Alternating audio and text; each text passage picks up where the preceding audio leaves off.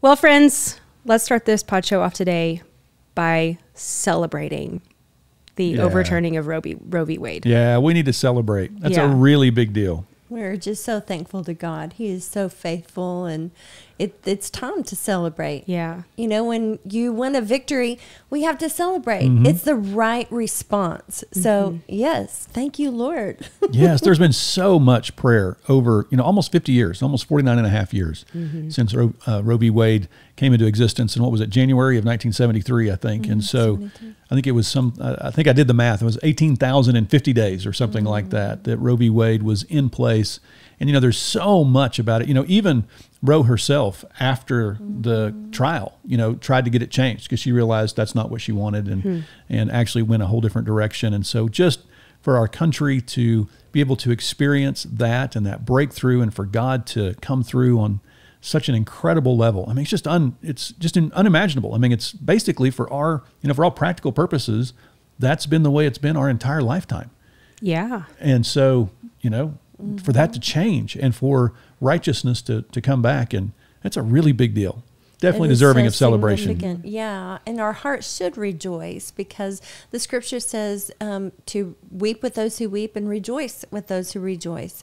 And so heaven is rejoicing Yeah. because many little heartbeats will get to continue to beat Mm. for a lifetime. And that is what we pray that those little heartbeats will, those little children will get to beat for their full lifetime, Yeah. living the abundant life with parents who love them and raise them in godly kingdom ways.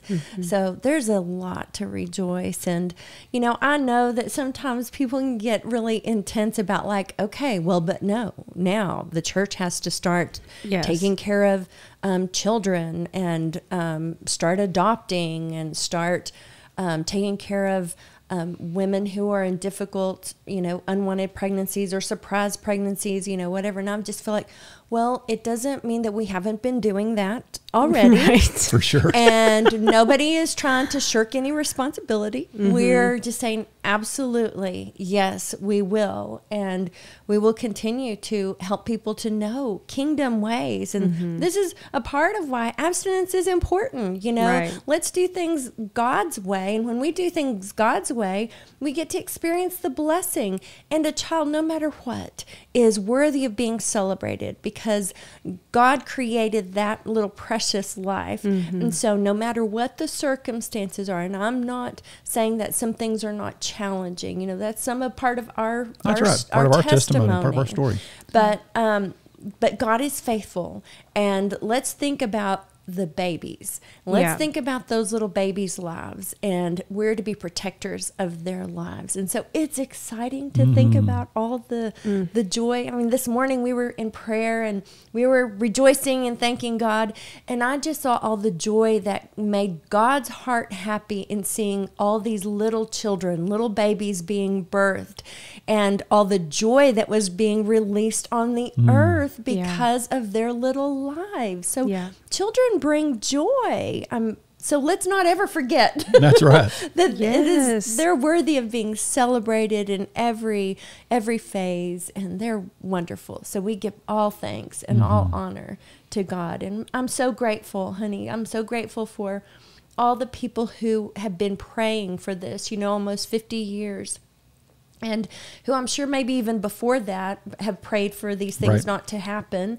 But, you know, when the unthinkable did happen and that um, Roe v. Wade was passed, then um, to that now in this season, that, or people who were praying before and have prayed for so long. Um, I'm so grateful for those prayer warriors who kept this as a priority. Now, we've prayed for this for, I guess, a couple of decades now, but to see the, um, I'm just grateful Mm. because so many other people have been praying for so long and we're seeing this breakthrough. So I want to encourage everyone don't ever give up praying. That's don't right. ever Ugh, give yes. up praying. It sometimes things are delayed and it just takes some time. We're just going to stay committed to what it is that God's calling us to do. Mm. Yeah, and it's also, I mean, it's a celebration, a huge celebration for for babies for sure, but it's also a celebration for freedom and That's for right. getting back to what our country was really founded on. Because you know, it's really not. They didn't get rid of abortion. What they simply said was is that abortion is not a right guaranteed in the Constitution. Yes. Which is a huge thing to say mm-hmm. because it's not in there. So what happened in the Roe v. Wade case, and then the Young case, I think, which was was that 1992, I think was the second one that talked about women's health and the definition of women's health being extremely broad. But those two cases both got overturned uh, on Friday. And that overturning of both of those basically said, look, we're going to turn this back to the power of the people so that people can vote. And this is not something that is outside of, of the opportunity for the people to vote, for the representatives to create laws that people want. And so that's what is also a huge victory is it took away this frankly a little bit arbitrary power that the Supreme Court gave Yes. on this issue and said, no, no, this needs to go to the legislatures. Now, if they want to pass laws, they can pass laws, but that's the, the Supreme Court's not going to trump what laws would be done. It's a very, very powerful thing for freedom. Yeah, so we're we still aren't finished praying. So we're right. celebrating, but we're still going to continue to pray that at the state level that um, these that babies will still be protected within every single state. Yeah, I so appreciate that we are one taking the time to celebrate and pause in celebration. I mean, on on social media, you know, just of course, like it's all that it's all that's on social media, you know, all over the weekend.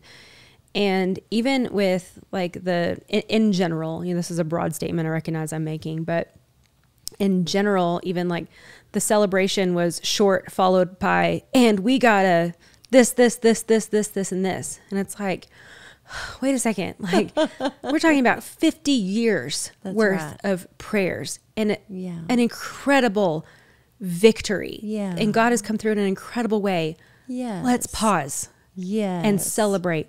That doesn't mean that there's nothing to be done. That's right.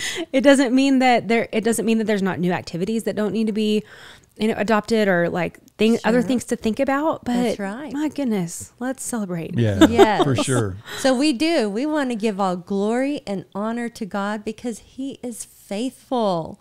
So we thank you, Lord, so much for moving on our behalf. And we do ask you, Lord, to reverse this curse completely. We thank you, Father, that you are releasing your life. And I pray that at in every state, Lord Jesus, that um, the people, your people, in every state will vote for babies and for the protection of their lives. Mm-hmm. And so, God, we just give you all praise and mm-hmm. glory and honor. Absolutely. Well, and I love too that you were talking about that this is actually a restoration of freedom because the, the narrative that's mm-hmm. out there is this is a gross violation of our freedom Oh. and autonomy, you know? And so Right. I appreciate you reversing that um, that narrative. And it does it does beg the question how do we how do we talk about this? You know, Right. how do we talk about this with people who are um, well, really non-believers who we can we can come in with our biblical worldview that they do not have, and we can talk about the Bible all day, but that falls on deaf ears because the they because people who do not have a biblical worldview are coming at this with with their own experiences, their own worldview, and so it, it can cause you know just a um, a chasm when it comes to having conversation. And so, how would you guys recommend that we approach that? That's awesome. It's important. Yeah, it's so important. And I, you know, I always say in these kinds of situations that we have to evaluate the sincerity of the person that we're talking to. And, and what I mean by that is That's I- really the sincerity of the question. So there's there's nothing to be gained by just being argumentative. You know, being argumentative doesn't help, doesn't solve. It's just divisive, and it doesn't go anywhere. So if I come across somebody who, you know, I perceive as just basically angry and insincere, well, then there's no point in really having a conversation because there's no dialogue that's going to happen. It's only a, you know, it's just a, a diatribe. You know, they're just trying to go after you and and and prove their point, and they're not Yeah. trying to. You know, there's no real dialogue that can take place. But let's say we're talking to somebody, you know, maybe a coworker or a family member who just, you know, is just wondering, you know, I, I don't understand, you know, well, how can we mm-hmm. walk and, and talk to them? And when it comes to it, you know, one thing about, I, I would say two things. One is, you know, the, the movement is called pro choice, you know, and it's, the idea was, and this goes again, I think it was the 1992 Supreme Court case, the Young case, where women's rights to health, you know, is that considered a, you know, a constitutional issue. And certainly, everybody has some level of right to have health care. But what the, the court just undid in that is acknowledging, though, that when a woman gets pregnant, there's actually two lives that we're talking about. Yes. And so that that's the piece that gets totally messed up. And that, that's really where the difference is between, you know, a pro-lifer and a pro-choicer is is that fetus, and I even hate that name, so I'm going to say baby, you know, mm-hmm. is that baby a, a, a baby? And so what the Roe court case did is it then shifted the conversation not because is that a baby or not or is it alive or not so all of a sudden we start talking about viability. So at what age is the fetus viable? And that used to be about 26 weeks. I think now with modern technology that's probably pretty close to 22 weeks even younger and it mm-hmm. keeps getting younger meaning that the, the baby can survive outside the womb at younger and younger ages and that's why you've seen many uh, states beginning to ban at different levels. You know, Texas just recently passed the heartbeat bill. You know, acknowledging okay, when there's a heartbeat, we're going to say that's the line. And so what what Roe did is it caused everybody to try to find this line of viability, and you know try to define that. But that's such a horrible um, case. The the logic behind that is is pretty flawed because if you think about it, you know, and, and, all of us have, you know, babies and grandbabies in our, you know, kind of in our circles of influence right now, and so we can see them. You know, is a is a one year old viable? I mean, can you take a one year old and leave them in the leave them in the jungle and Right. you know and let them serve? You know, uh, so is a one year old viable? Is a Right. you know is a twelve year old viable? Yeah. You know, and then by the other end, you know, sometimes we're dealing with our parents. Is an 80 year old that you're really having to take care of, Oh, are, man. are they viable? And so the, the danger of letting viability be the determination of when it's okay to terminate a life or not just opens up a whole can of worms. It just opens up a mm-hmm. whole set of, of logic that gets that gets pretty whack pretty quick. And so that was that's where I would take the conversation if I'm talking to somebody that's sincerely asking, is would say, is viability a legitimate reason to terminate a life? Mm-hmm. And then the other thing comes into, well, is it is it really a human being? Well, what science can tell us straight up, and this is not even a question anymore, which just Yeah. validates Psalm 139. At the moment of inception, at the moment the two cells come together, one from mom and one from dad, and the, the is it zygote? Is that what you get the very first? Yeah. The mm-hmm. zygote. Mm-hmm. Can't believe I remembered that. I know, and that's the, zy- impressive. the, the zygote is formed. That that baby has unique DNA. That baby has the DNA that it's going to have for the rest of its life, and it is clearly and uh, undisputedly a unique human being. You know, and I always find it fascinating. You know, we want to talk about this. When does life start in the womb? You know, if we found a single-celled bacteria on Mars, the scientists would be running around everywhere That's going, "We have found life on Mars." You know, so that is right. a a uh, you know a, a, a baby is a baby when it's a baby and i would say the, the other thing we need to pay attention to this is a relatively new thing that i've heard is is now the concept of personhood and so when does a baby become a person and so the logic behind this is there's a point at which self-awareness and all of those things and what's really dangerous about that is scientists tell us that's about 30 days after a normal birth and so, what some of them are trying to say is they're trying to introduce this idea okay, well, the definition is you can terminate life before you're a person. And so that would mean up to 30 days after birth today. So there's all these different ways that the, you know, the pro-choice movement tries to tries to push this and, and work this deal to make it okay. But but if we're also and, and again, assuming I'm talking to a sincere person, mm-hmm. because they say, well, a woman has a right to choose. I, I would just say, I just with all due respect and with you know honor and understanding, we do have a right to choose. We can choose whether we're going to have sex or not. And I realize there are some extreme cases. We cannot define the norm by the extreme cases, mm-hmm. but for the the vast, vast majority, it's really not about women's health. It's about the ability to have intercourse without protection and without having to deal with the consequences of that. And that that's not a moral statement regardless of your religious perspective. That that's just a, you know, you can't be sloppy and uh, you know, and then expect to not have to have consequences of those decisions. And so, again, I would only say that in a in a sincere way, in a sincere environment. But those are some logical ways of defending a pro-life movement without like going into scripture and whatnot. Another thing that I've been hearing that that I think you know just gets blown up on social media that's just absolutely 100% false is the um, the treatment of women for things like ectopic pregnancies, and even in some cases calling a natural miscarriage and then needing to do a D&C procedure, you know, an abortion that thus lands at um, if if those things are classified as abortion, then that's where a lot of the um, the narrative that says so many women will die because the Supreme Court right. has overturned Roe v. Wade comes from that. And then I've, I've seen OBGYNs get on and post you know, they're that's just not true. It's not true at all. It's totally made up. totally true. made up. Have different mm-hmm. names for different treatments. They always preserve look to preserve the mother's life. That's if her right. life is in grave danger due to this pregnancy, they prioritize her life over the life of the baby. And so it's just I mean, just even seeing the um the lies mm-hmm. that are out there, you know, it's important to and that's where mm-hmm. I think it's mm-hmm. important to um, to learn these things. I mean, even personhood. Like I don't know much about I don't know much about personhood. You know, I appreciate you just I- explaining a little bit more of what that is. And so to get that education, um, mm-hmm. not that you want to go out and look into debate everybody, but when you when you have sincere answers to sincere questions in a sincere conversation, it's important to to know mm-hmm. these things. Right. I think it's really curious how creative um, we can get when we're trying to justify a wrong behavior. Mm.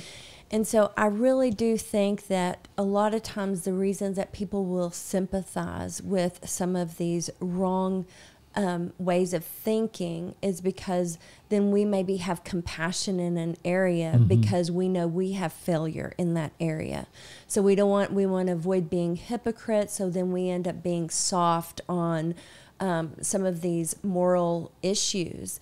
So instead, like, well, you know, I, I know with, where they're coming from because, you know, I know I've, I've been guilty of the same thing. So they're not going to, like, oh, I'm not going to take a stand on that because I still have outstanding issues. And by that, I mean um, some, some sin, which, I mean, gets to a whole other topic mm. of recognizing that we do sin I mean, every Christian, every believer, what is so amazing is that we have been forgiven mm-hmm. of sin. So, yeah. as Christians, we're not looking down on somebody else that has a different lifestyle, or that we recognize, oh, we've been there, or I've been healed and I've been um, forgiven of sins like this. So, it's mm-hmm. not that any that Christians are looking to say, um, oh yes i'm so much better than you and you people who live immorally or y'all are sinners and i didn't sin that way you know?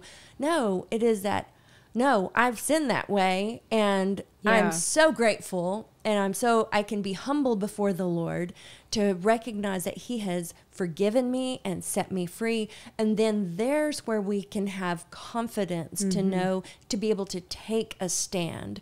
So I do think that's important to that we have recognized we're not confident in taking a stand because oh no i wouldn't i can't even understand or relate with people who are in those situations is like, no, because I can, but I want you to know there's a better way. We don't have to justify and we don't have to find now now we're gonna try I think that's where all these made up um, these made up ideologies come from, whether it's personhood, viability is like I mean yeah. it's just this trying to skirt around and justify sin mm. and instead of like, can we just call it what it is? And then recognize this is terrible. I'm so sorry. And now I feel the pain of my sin. And I can, now I can recognize this is why I need a savior. This mm-hmm. is why mm-hmm. we need Jesus. So you can see why the enemy doesn't want people to recognize that, oh, I have sin in my life. And the way to get rid of that feeling or that shame and that guilt is not by creating other um, other narratives and oh look at this. No well that's not really baby it's this. And oh no no this is okay in this circumstance or making up stories that are not even true. Yes. Um, why do they need to do that? I was like well you don't need to do that when you can just be honest and speak truth and then recognize your need which will always lead you to jesus which also just shows you why the enemy is just going to keep putting a spin mm-hmm. on everything. Oh no you don't need jesus. No oh no that's not sin. Well you didn't mean to or oh that wasn't a baby that's a fetus. And, you know it's always just throwing out lies. It's like well stop all the chatter. Can we just be honest and truthful here in this place? And that's where that always mm-hmm. leads us to the need for jesus. So we're really so grateful mm-hmm. for Jesus and um, no matter what the circumstances are. That's why we've got so much compassion That's right. for for people and what, whatever their camp they're in. Um, and so we just pray that they will get to know the reality of Jesus, and Yeah. you'll be set free, and you can be healed, and not just of, he's the only he's the one who cleanses us from sin, It's good. And we Well, need it. we do. We do We need, need it, it. don't we? Mhm.